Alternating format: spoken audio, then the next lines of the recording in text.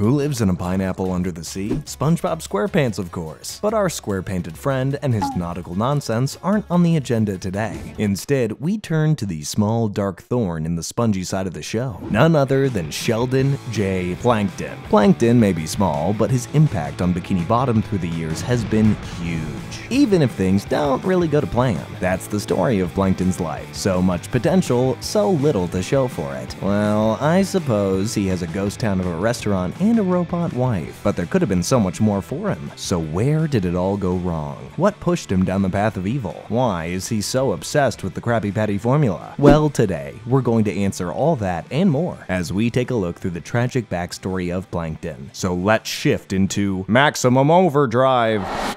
Now, this may come as a surprise to you, but Plankton wasn't always the evil invertebrate we all know today. And in the beginning, he even had a best friend. And it's someone you may find familiar, Eugene Krabs. That's right, Mr. Krabs and Plankton were best friends. They first met as newborn babies in the same hospital on the same day. And from that day on, they were joined at the hip. Wherever Plankton went, Mr. Krabs wasn't far behind. They formed a tight relationship with one another, sticking up for each other whenever something like a school bully came along. From their friendship, though, things were less than perfect, especially for Mr. Krabs, whose family, well, to say that they were poor would be an understatement, with the kids calling him Rag Boy because of his hand-me-down clothes. I guess Mr. Krabs' life really is a rags to riches story. Plankton's family, meanwhile, weren't rich either, so the boys put their brains together to come up with a way to get themselves out of this money hole. I bet if someone made a better burger, they'd have a fatter stack of loot. Their idea to get rich quick came about after the only burger joint in Bikini Bottom and their favorite after-school hangout, Stinky Burgers, was closed down due to health violations. You'd think it would have been shut down earlier considering how obvious it is that a place called Stinky Burgers would sell stinky burgers. Plankton and Krabs saw a gap in the market and decided to create their own fast food restaurant with the hope that not only will they earn an extra buck, but the kids who've made them outcasts might finally accept them as being cool. But taking inspiration from Stinky Burgers, the duo can only find an affordable setup in the middle of a dump. There, they go to work on perfecting a tasty patty for the public of Bikini Bottom to try. And after some fine-tuning, they settle on the Plab Patty, christened by combining both of Plankton and Mr. Krabs' names together. But of course, no one likes their creation. Your burgers are even worse than Stinky.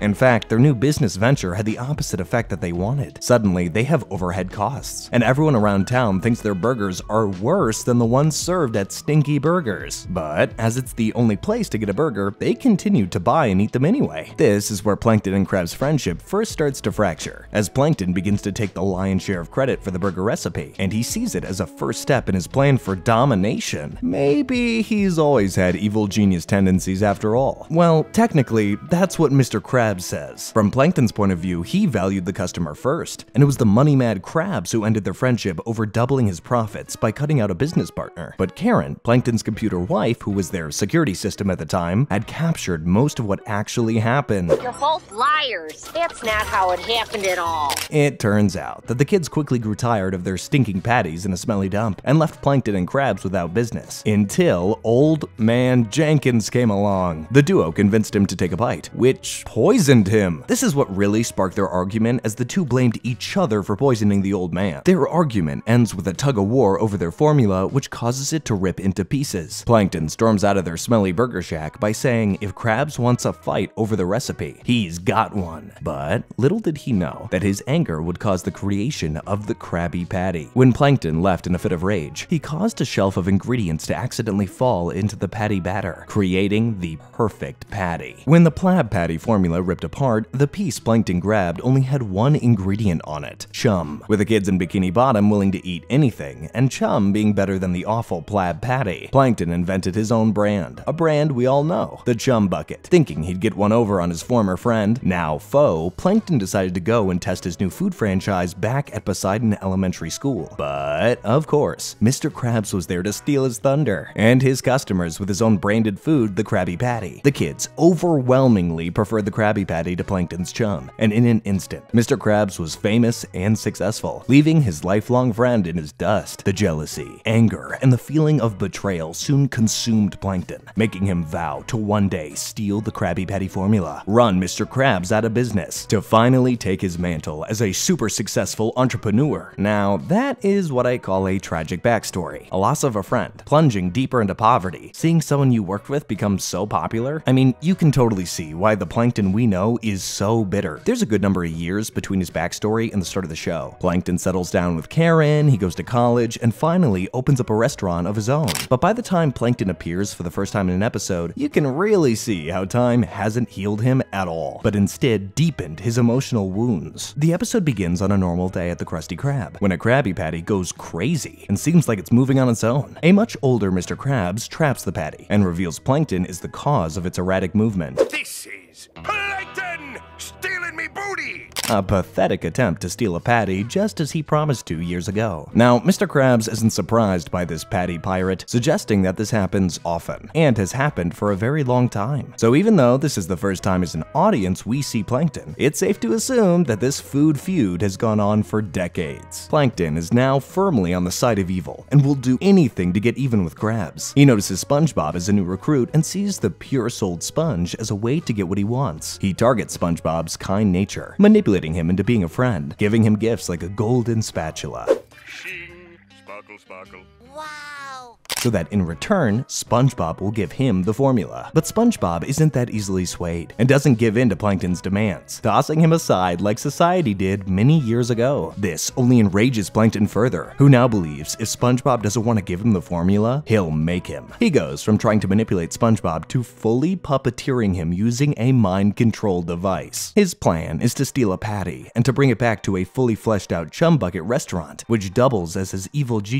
lab where he can analyze it. The plan, as we all know, ends up backfiring, but it's clear to see that years of being an outcast has pushed Plankton to the brink. And this is only his first episode. Plankton's plans throughout the years do seem to push the limits of sanity. Like the time he created a robot version of Mr. Krabs in the episode Imitation Krabs. It's one thing to try and steal a Krabby Patty formula, but to basically create an entire robo version of someone you're deeply envious of? I mean, when you know the context of the backstory between Plankton and Mr. Krabs, it's actually really disturbing. In the episode The Algae's Always Greener, Plankton is at his wit's end with trying to steal the Krabby Patty formula, seeing Krabs living it up, while he comes home to a barren restaurant with no food and wife, who for all intents and purposes isn't real. It soon dawns on him, however, that the life he's always wanted to live can be achieved by using his supreme intellect and inventing a machine which plunges him into the mind of himself in an alternate reality where it's Plankton who owns and runs the Krusty Krab.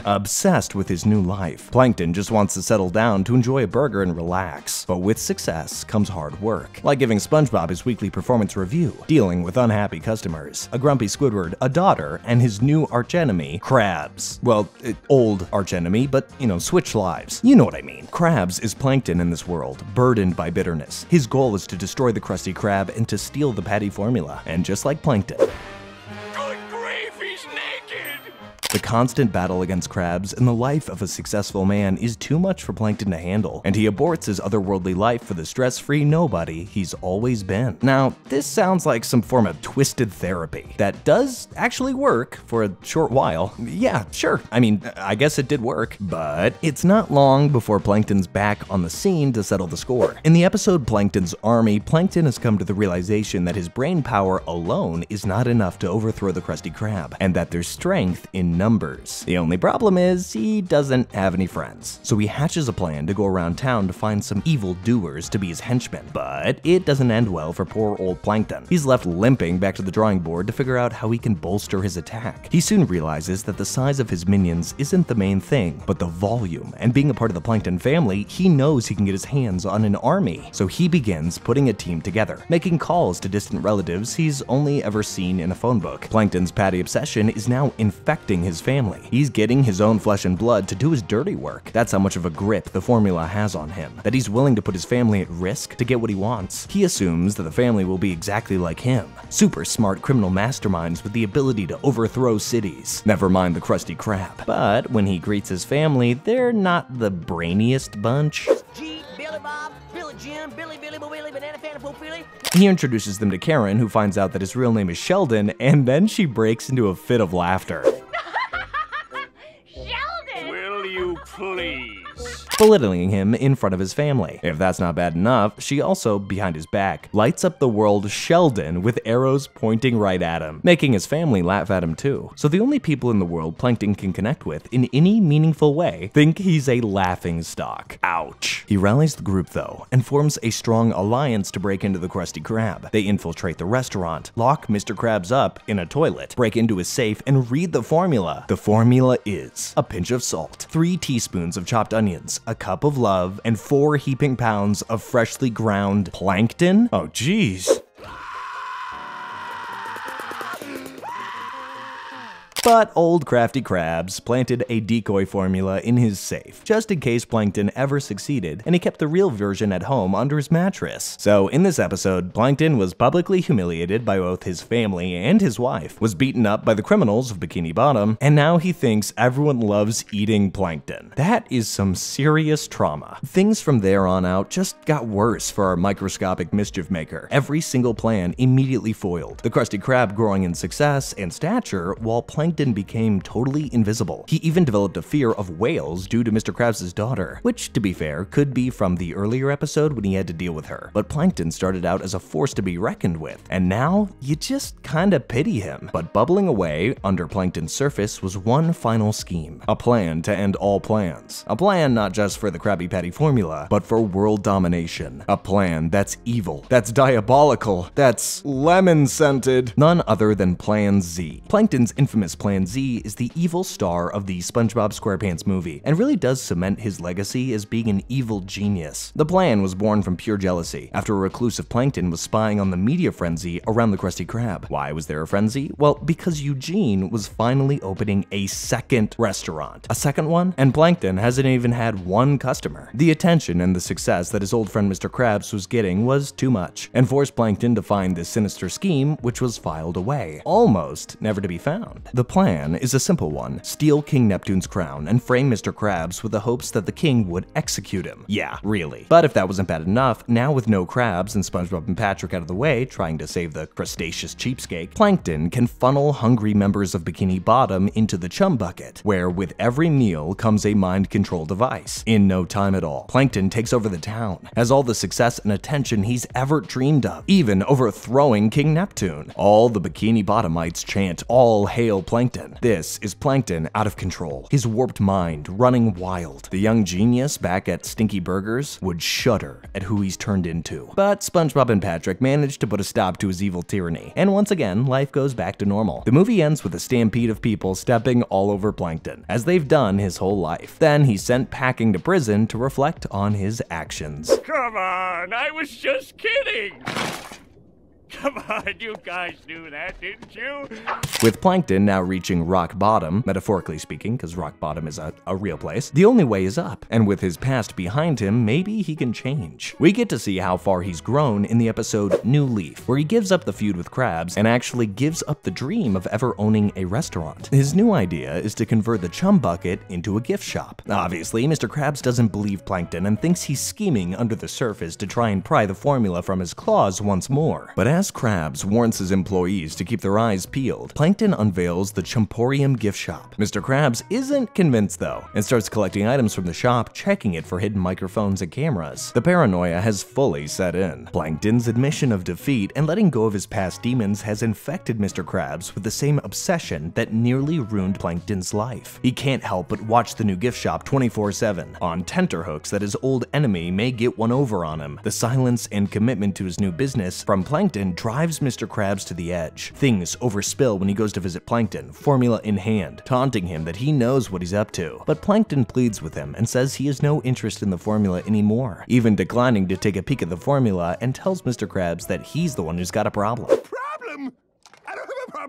You're the one with the problem. Mr. Krabs becomes enraged and starts to destroy the Chumporium, smashing lava lamps and snow globes and various other knickknacks. Is it because he really can't believe Plankton has turned over a new leaf? Or is it because he can't stand to see him happy? I think I'll save that question for a Mr. Krabs video. A heartbroken Plankton is left in the ruins of his livelihood as he kicks Krabs out. But as Mr. Krabs leaves, he drops the formula, hoping it'll spark Plankton back into evil action. But instead, he gets this. Hey, Krabs!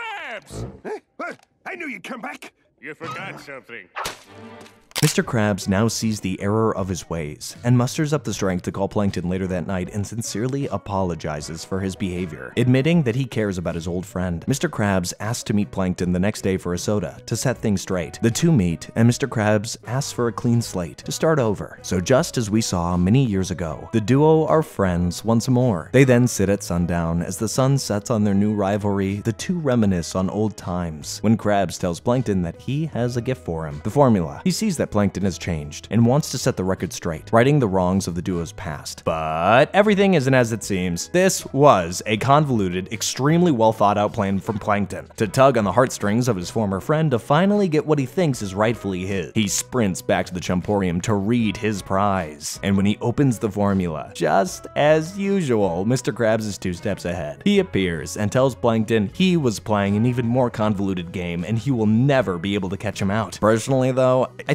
that despite how that episode ended, there was a lot of healing done between Mr. Krabs and Plankton, and it's clear to see on some level they deeply care about each other. They may seem like enemies, but really the line between an enemy and a best friend is thin. For a kid's show, Sheldon J. Plankton is a very complex character. We've seen today how someone's past can so easily shape their future, and if Plankton's story began a little kinder, you never know what he would have achieved. His mind has endless potential. He could have been a force for good instead of bad, but on the flip side, he could have easily helped himself himself. He didn't have to keep the baggage of his best friend betraying him for decades, becoming obsessed with beating him. But without that, we wouldn't have the Plankton we know and love. Hey, thank you all so much for watching. Let me know down below what your favorite Plankton moment is. And if you've got any suggestions for another character deep dive, let me know. But for now, I'll see you all next time.